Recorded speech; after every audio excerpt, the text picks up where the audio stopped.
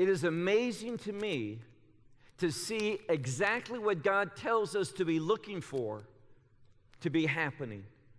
When we approach the last days, what we should be expecting is this instability. And more and more, we're seeing instability throughout the world. And that instability is going to be a problem that is going to have, at first, a very ungodly solution. Now, if you were to ask, what is the least likely place in the Bible for the church to study? You know what the answer would be? Prophecy. We need to know prophecy. For example, in the book of Revelation in chapter 19, it says that the testimony of the Messiah, that is the character of Christ, is the spirit of prophecy, meaning this the more you know prophecy, the more that you'll understand who Messiah is and why he has done the things that he has done and why he will do the things that the Word of God demands that he must do. So we need to have a prophetic perspective. And when we look at a key prophecy, and I'm going to begin by going to Daniel chapter 8, because there there are some beasts, and prophetically, a beast is an empire. And there's going to be an empire that rises up, and we're told who that empire is. In that eighth chapter of Daniel, it says that it's Paras Umidai. And that is the Hebrew way of saying Persia and the Medes. And we're talking about Iran. And Iran is more and more in the news, and Iran is indeed a catalyst for worldwide instability. Now, you live here in Evansville, Indiana, and you may not know, you may not hear what's going on in the Middle East. And I say that because it's not frequently reported in America or Europe. But Israel, almost every week, attacks Iran in Syria. Iran, for the last four, five, six years, are trying to move more and more military assets into Syria for what they want to do, and that is to destroy that nation. And what we see in the book of Daniel is this that this Iranian coalition, and there's going to be other nations joining with Iran. We see that in the news. We see that they're making a coalition with Turkey. There was great conflict between Saudi Arabia and Iran that is being settled. And what we can expect is Iran to grow and to become more of a nuisance throughout the world. And when you read Daniel chapter 8, what we can expect is this that because of this rising up of that beast called the ram, that the world is going to grow hopeless. The world is going to have discouragement. And as things get very difficult, they're not going to see, that is, the world will not see a way to overcome that beast, that evil empire. And then the scripture says, suddenly, without any type of expectation. There's going to be another beast, that is another empire, that is going to rise up, but this time not out of the east, but out of the west. It's going to be European. And if you read carefully in Daniel chapter 8, that empire that's called the goat is the Antichrist empire. And I think it's so interesting that when we read in the Gospels, for example, in Matthew's Gospel, Messiah is going to separate the sheep from the goats. And we can expect that there will be great conflict, not outside the church, but within the church. Because the Bible tells us that there is an apostasy coming. What is apostasy? It's moving away from the truth. And let me ask you a question Don't you see that happening today within the church? That there is much confusion. What 20 years ago would never have been acceptable would have, in a consensus, be seen as sin, abomination, unacceptable. So much of the church is embracing. And the challenge that I have for you as we watch Israel, see, many people believe that it's going to be Israel that will go through this, this time of tribulation. That's true. Israel will. But before that happens, and we're going to look at a text in a moment, because your pastor talked about that fig tree. Well, we are commanded, and he's speaking to disciples to watch the fig tree. And when we see that fig tree growing, blossoming, then we know that things are about to happen. And Israel today don't believe what you read on the newspapers or see in the internet that Israel's in a state of imploding. Nothing could be further from the truth. Things are good in Israel. And you also read that there's much excitement about the third temple, the red heifer, all lies. We live in Israel.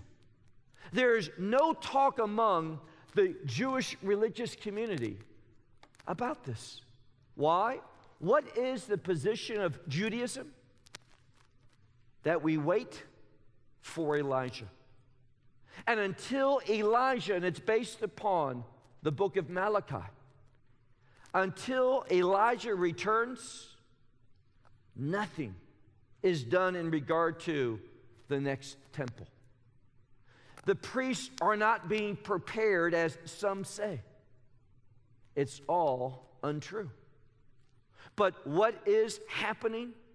Well, we're going to study God's Word. If you have your Bibles, I would invite you to look at Luke's Gospel. Your pastor quoted Matthew and chapter 24. But we're going to see in a parallel passage what, what Yeshua taught, that is what Jesus said in regard to Israel and what the church should be expecting, what we should be prepared for. So look with me to Luke's Gospel and chapter 21. Now, these, according to Matthew 24, are some of the things that are called the beginning of the trials. And these are birth pains. And birth pains happen for a reason. Something is going to change. There's going to be something that's brought into this world that's new. And therefore, Messiah uses this term.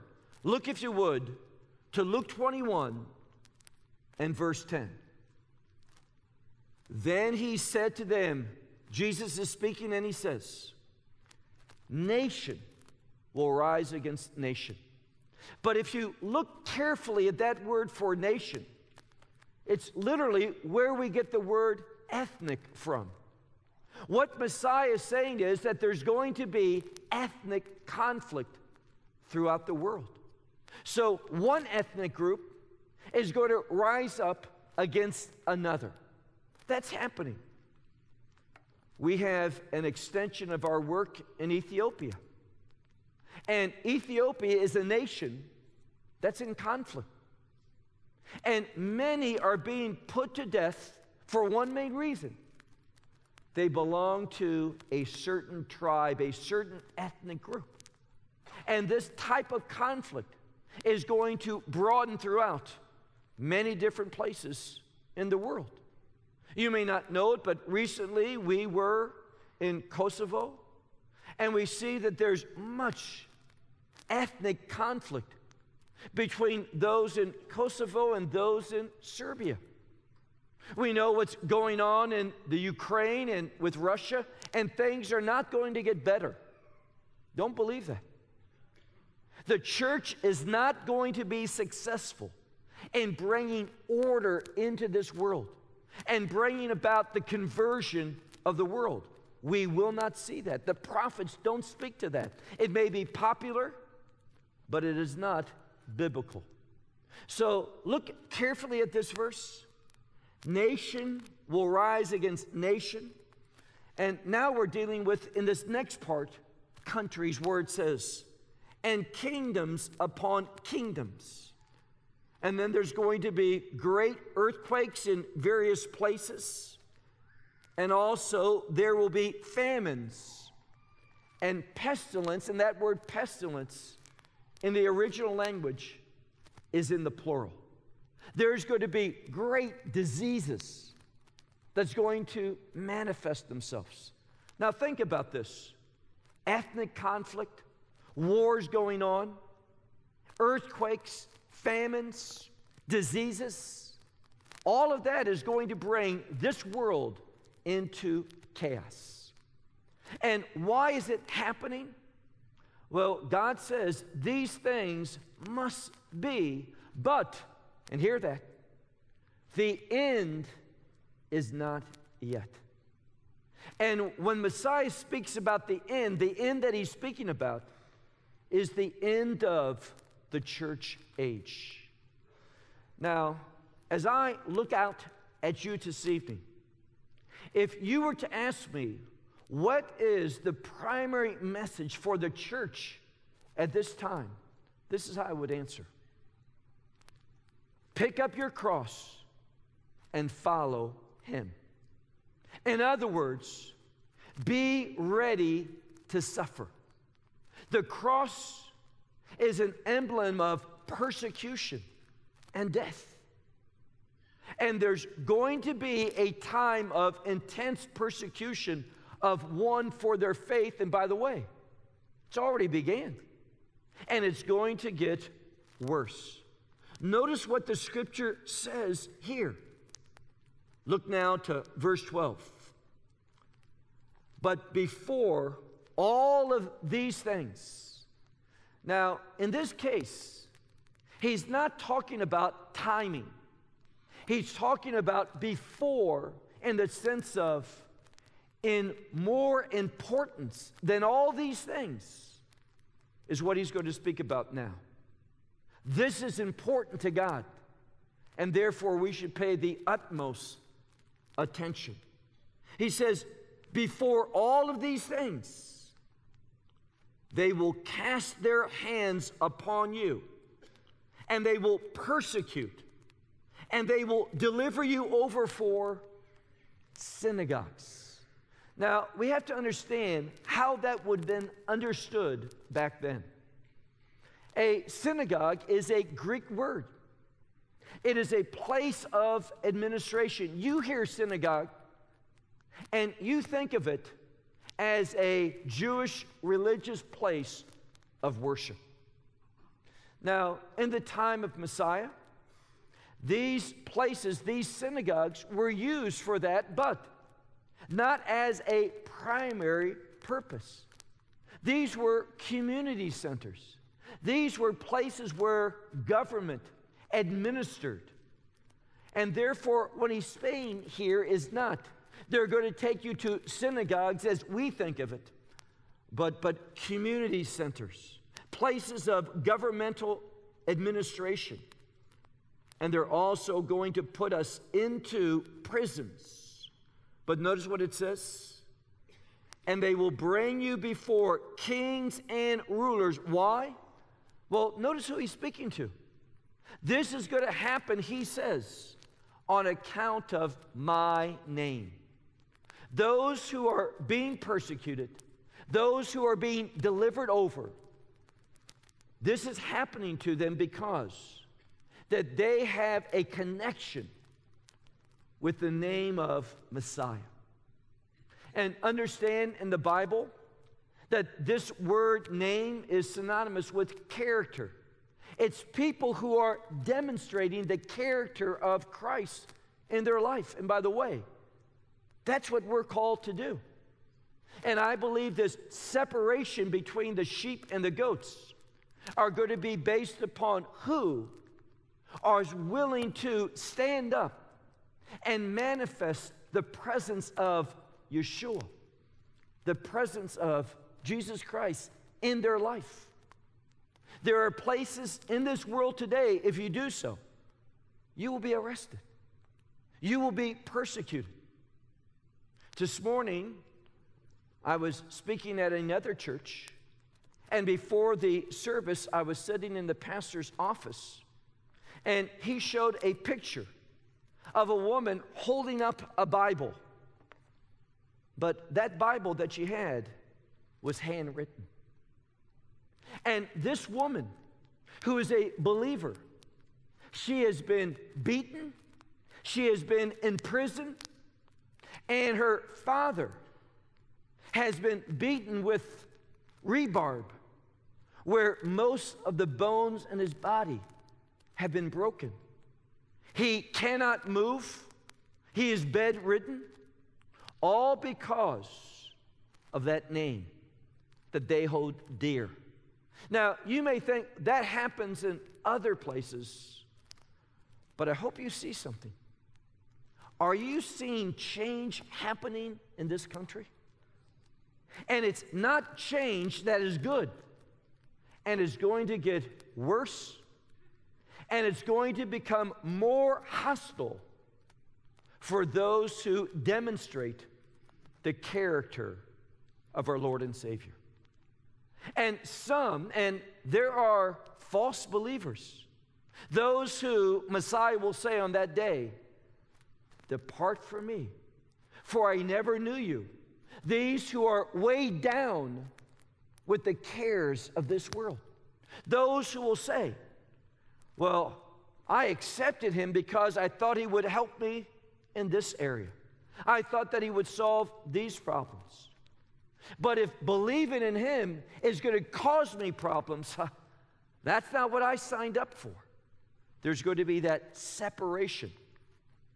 And I believe that separation has already began. Look at verse 13. These things, being persecuted, being delivered over, these things being hated, these things have a purpose. What does he say? Verse 13. And this will bring, and this word means an opportunity. It will give you the opportunity to testify, to bear witness. See, what's happening is this in this world. Things are becoming dark, so your light will shine brighter so that you can be singled out as a true follower, one who obeys and leaves the consequences to God the Father. That's what we're called to be. And the world is changing so that we can document our faith. That's what we're called to do. And the world is going to provide that opportunity for us. He says, this will be as an opportunity for you for a witness. Verse 14. I like this verse. You're called to give witness. You're going to be arrested. You're going to be placed into prison. And what does he say? Verse 14. Therefore, set your hearts not to prepare your defense. In other words, don't give any thought on what you're going to say. Trust Him. Believe what He says He's going to do. Because He says, For I will give you a mouth and understanding. And when God gives you the words, when He provides that perspective, His perspective, that gives you His understanding, what does He say? He says here, that no one is going to be able to speak against you, and no one is going to be able to stand in opposition of those who are against you. Verse 16. He says, But you will be delivered over. And this is where it gets really difficult. See, making him your Savior, we all want a Savior. We all want that helper. But is he truly your Lord? And in the scripture, people are going to be challenged. Does he come first? What is he saying here? And you will be delivered over by parents and siblings and relatives and friends and some from you they will put to death. Now, realize, whenever we talk about the last days, we have to make a distinction between the wrath of God and satanic persecution. Satanic persecution, his plans, his activity goes all the way back to the garden and it will not stop until the kingdom of God, that new Jerusalem, is established. When Satan will be no more in this world, he will be in that lake that burns forever with fire and brimstone. Yes, during the millennial kingdom, he will be bound, but he will be released for a short time. We need to understand that satanic persecution is in this world. But if you are a believer, you will never, ever, ever experience the wrath of God. These things, God is not the source of this tribulation, this persecution, those who are being put to death. God is not the author of this, He's allowing it for a purpose. He says, and some of you will be put to death. And then he says, look at verse 17. And you will be hated by, what does your Bible say? All. All those who belong to this world. Now, if you read the book of Revelation, I would encourage you to do so. You are going to find in the book of Revelation, there's two groups of people those who dwell upon the earth and those who dwell in heaven. Now, understand something. It has nothing to do with where they are physically located. It has to do with their citizenship. Do they belong to this world or do they belong to the kingdom of God? And those who belong to the kingdom, those who have entered into that new covenant by faith through the blood of Messiah, those will be hated by all those who belong to this world.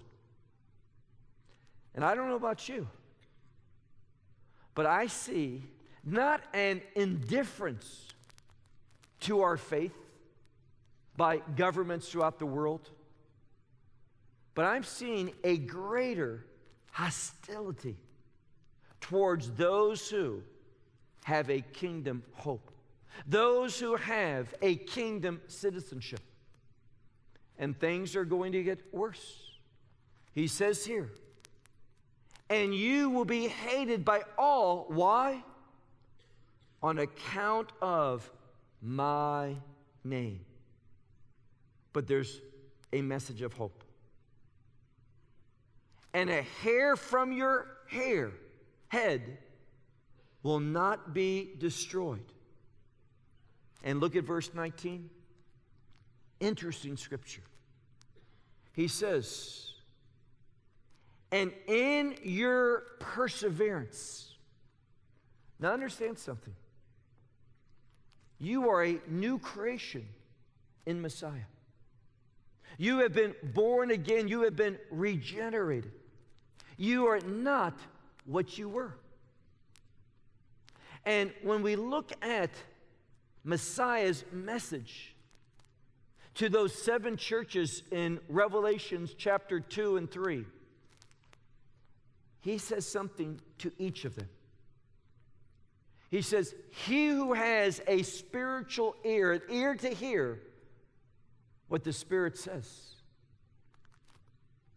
And that is a message of overcoming.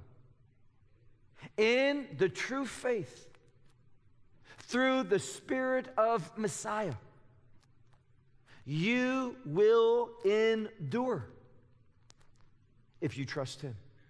You rely upon Him. You will overcome. That's what the church is called to do. Even in being put to death.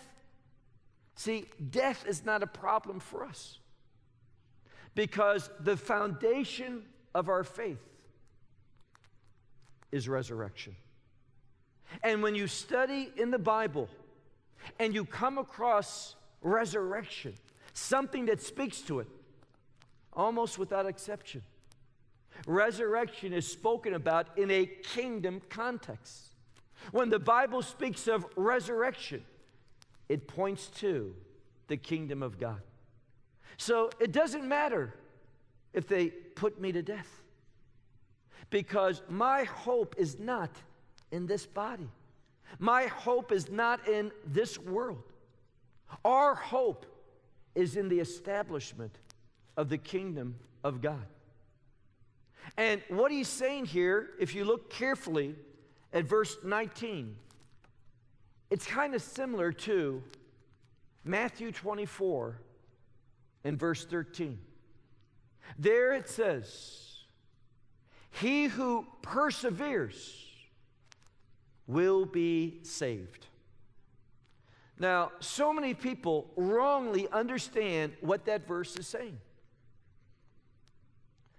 It does not mean that through my perseverance, I earn salvation. You know, that word salvation is used in a wide variety of ways in the scripture. It can be used for financial well being, it can be used for physical healing of a physical disease, it can be used for spiritual healing, being set free from demonic possession.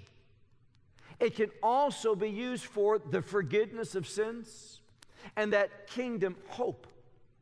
But that word, in its simplest meaning, salvation, is related to victory.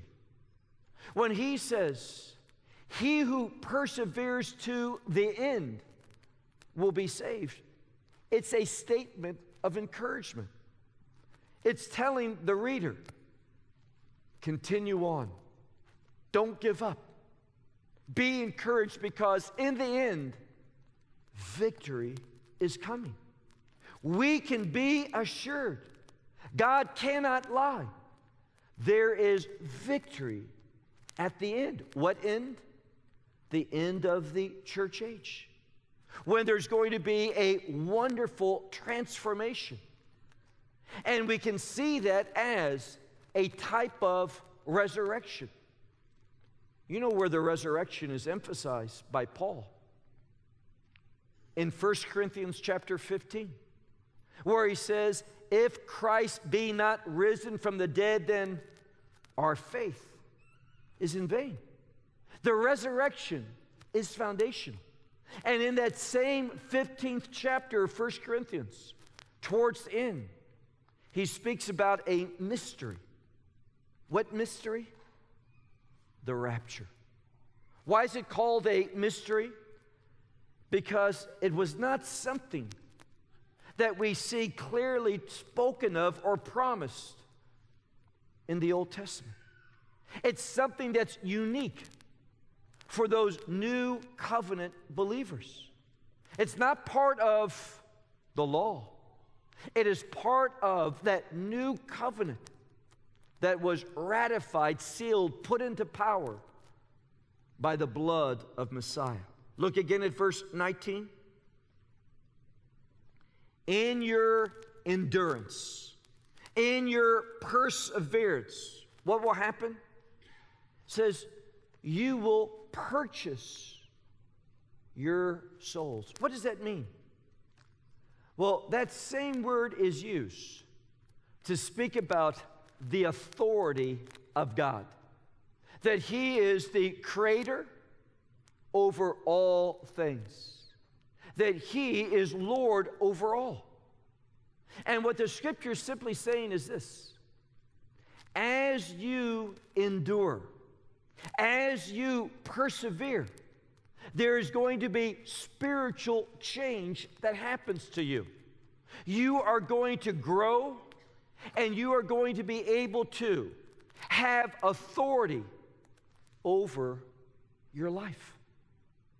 And that authority that you will have will be in agreement with the anointing of the Holy Spirit. It means that you are going to finally be overcomers whereby you submit to perfectly the will of God.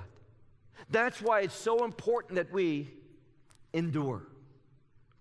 And then he says, look at verse 20. But whenever you shall see Jerusalem being surrounded by encampments, it's a word for soldiers, but a camp of soldiers. Now, this is not speaking about what happened nearly 2,000 years ago in 70 AD with the destruction of the first temple. This is talking about what's going to happen in the future. What we read about in Revelation chapter 11, where it talks about the holy city is going to be trampled upon by the nations. So he says here, when you see Jerusalem being surrounded by encampments of soldiers, then you shall know that her desolation, that is a word that speaks about destruction, is near. Jerusalem will be attacked, but there will be a remnant, the scripture says, that's not cast out or cut off from the city. Difficult times are coming for Israel and Jerusalem. And you know why? To teach the people there that they need a Savior. That left to themselves, that the enemy, and who's that enemy? Well, read the prophecy of Zechariah. All the nations of the world. Pastor Prince asked, What about America in the last days? Now, I was born here. I love this country, but it's not the same country that I was born into. It is vastly different. And America is going to make a tragic decision to join with all the nations in the world and you know who's going to be the leader? Edom. Have you ever read the book of Obadiah? Just one chapter, just 21 verses. But I would encourage you to read that because it speaks about a final battle. A battle between the Edomites, the descendants of Esau, there's such confusion in the church today. So many people teach that Esau was a kind of innocent victim to his brother Jacob. That's not what the New Testament says.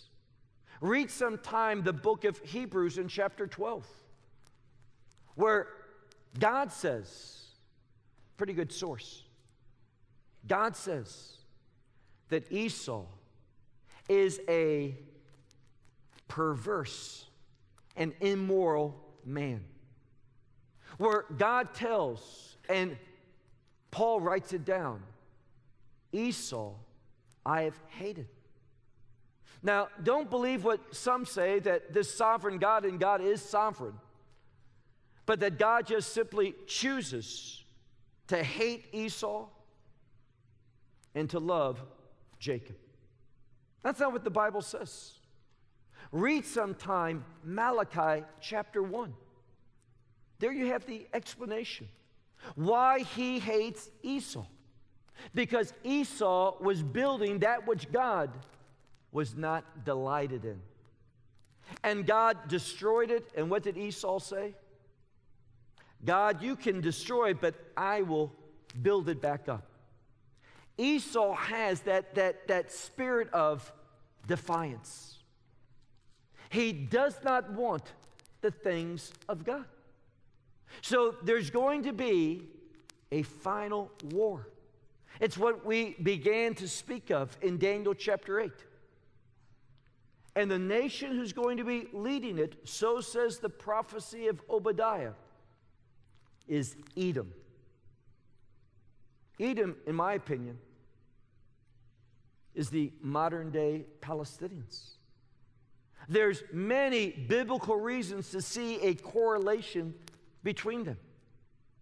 And the scripture tells us in Obadiah that all the nations of the world, Zechariah says it as well, are going to join with Edom in order to go up to Jerusalem for battle. But we know what's going to happen Messiah will return, his second coming, and he is going to give victory to a remnant of Israel. Drop down, if you would, to verse 28. Israel, we've seen it. Jerusalem is surrounded by encampments of soldiers, and America will be there as well. But what should we, the believers, think? Look at verse 28. But when these things begin to be, now hear that carefully. When these things begin to be. What are we called to do? It's a commandment. He says, Look upward and lift up your head. Now, that expression, to lift up your head, do you understand that? There's a psalm that says, God is the lifter of the head. What does he mean by that? Well, lifting the head shows recognition. God is going to recognize his people. When these things that we have spoken of tonight begin to happen, you should have an expectation. And that expectation is God is going to recognize you. And how is he going to do that? He says, Look upwards and raise your heads because your redemption draws near. Do you understand what he means by that? You see, in Hebrew, I understand this is Greek, but in Hebrew, we have two different words for redemption. One involves a payment for redemption. That's why Messiah came the first time to make that payment, which he made on Passover. That's the day he was crucified, not by chance, by, but by the providence of God. In the same way that that Passover blood brought the people out of bondage, the blood of the Lamb of God, Messiah, crucified on Passover, brings us out of this world and will bring us into the kingdom of God. So there's that word for redemption that's a payment. But there's also a second word that speaks about the outcome. You can think of it this way Ever bought a house? There is that down payment that you get into it. But that second word has to do with what you receive all the house. It's now yours. It's the outcome. And this is what it's talking about here. When these things begin to happen, be encouraged. Look up. Be encouraged. God is getting ready to recognize who is his redeemed people. And we're going to receive the benefits of being in that new covenant relationship. Verse 29. And he said a parable to them. Now, you all know that the New Testament, the Gospels, are full of parables. I said this morning we studied a different parable, and I shared with them that the Hebrew word for parable, mashal, is the same word where we get the Hebrew word for government. Why? Because the message of every parable that Messiah taught, that message should govern your life. That message should rule your life. And in regard to that, he says, look at verse 29. And he said a parable to them. He says, When you see the fig tree, now the expectation is be watching the fig tree. No confusion.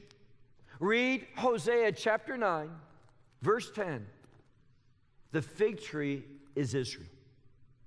If you are obedient to the instructions of Messiah, you are going to be watching Israel. And you will have an expectation. It's not by accident that there is today in our lifetime the nation of Israel. He says, and when you are looking at the fig tree and all other trees, now why would he say that? Other trees, other nations.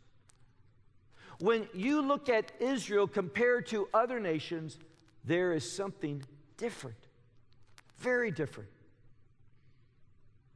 Look at other nations. Israel's so small, so small. But yet, the number of Nobel Prize winners compared to other countries, other peoples, the more you study Israel, see, Israel's a wonderful place. Visit it, you'll see that. But we have a problem. Our neighbors don't like us. And our neighbors are sworn to our defeat. That's nothing new. But there's still today what? A nation of Israel. And there's going to be, it shows God's providence, God's faithfulness. So he says, Watch the fig tree and all other trees. And he says, When it puts forth already, that is, when it begins to blossom already, he says, Watch for yourselves and know that the summer is near. Now, there's a play on word in Hebrew because this word for, for summer is very similar to the word end. It's spelled the same. There is just that one letter that's a vowel that changes it. And he's, what he's saying is when Israel begins to blossom, when it shows its distinctiveness, that you can see God's hand upon that country, small country. But do you know that of all the nations in the world, big nations like China, Russia, America. Look at all these countries in Europe and Asia. And Israel is the number fourth country for worldwide investment. So small.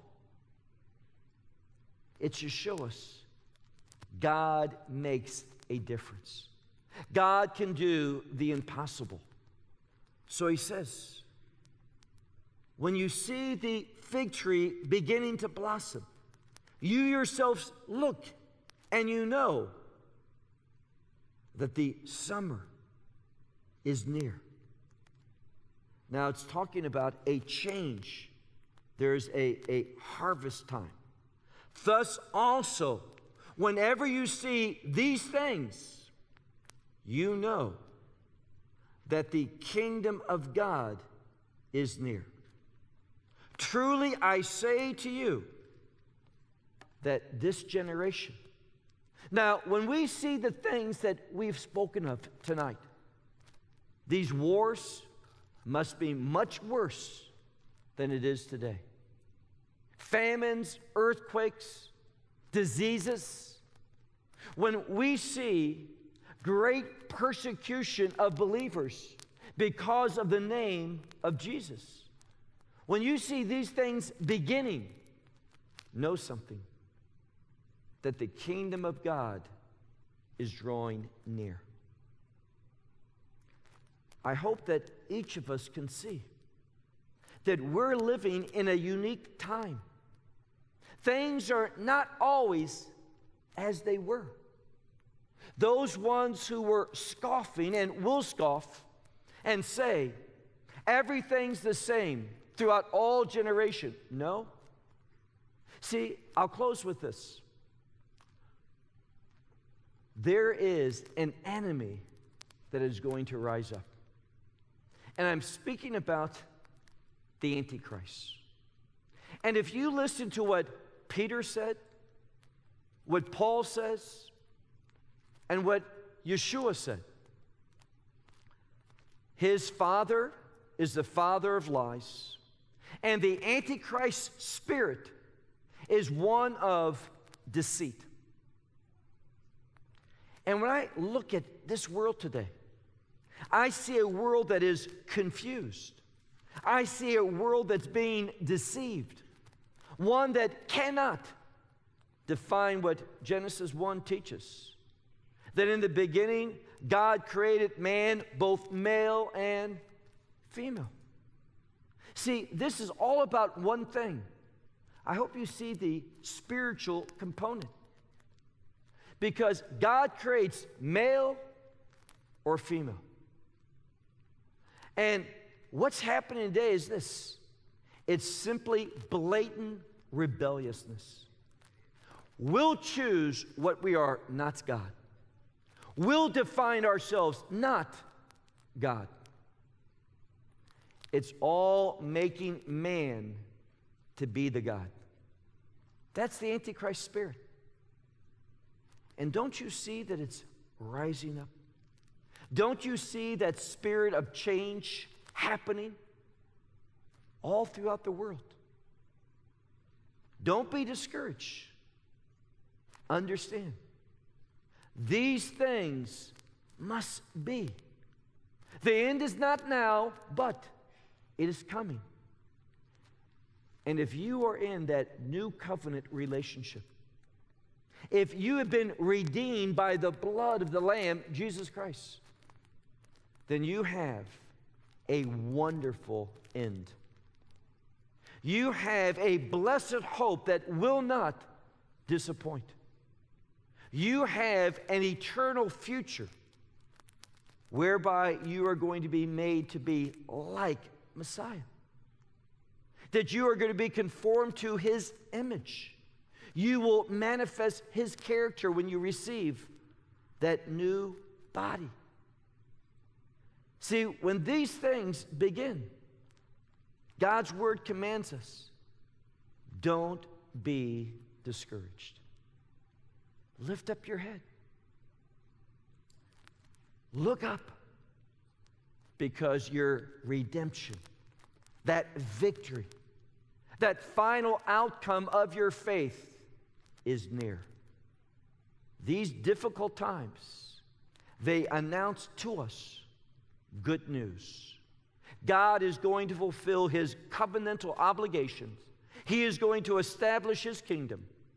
And for me, as I look at the Word of God, I am more and more convinced when I see the darkness that is coming, that we serve a holy God.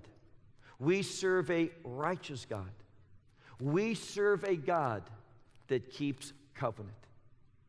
If you're not in that new covenant relationship, don't leave this place tonight without entering into that covenant. It's so simple. All you have to do is to say, Yes, I'm a sinner. What does that mean? Yes, I have violated God's word. And left to myself, I am without hope. But I believe in the hope that the word of God promises. I believe that Messiah went to that cross. He died upon that cross. He shed his blood as the full payment for all of my sin. That through the work of Messiah, all my sins, all my iniquities, all my transgressions are forgiven. And not just forgiven. Jeremiah, in that passage about the new covenant, says, and God promises not just that He'll forgive, but He says, and I will remember their sins no more. You can have that absolute assurance by believing he died, but not just died, Paul says, but also that God raised him from the dead, believing in the resurrection of Messiah because you're going to share in that same experience. Accept that good news. It's free. And when you do, your name is written in a book, that Lamb's book of life.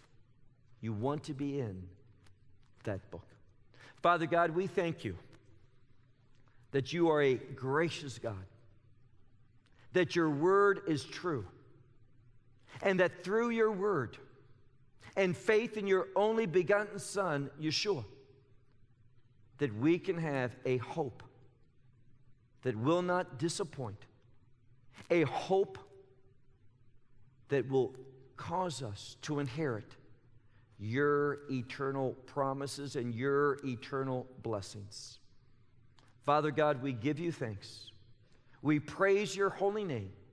We lift up the name Yeshua, that name above all names, thanking him for what he has done and what he's going to do when the heavens open up and he gathers up the church and he provides for us the outcome of his redemption. Lord God, we look forward to that day. And until that happens, may we walk faithfully, may we walk humbly, may we walk bearing witness to his name. For this is our prayer. In Jesus' name, amen.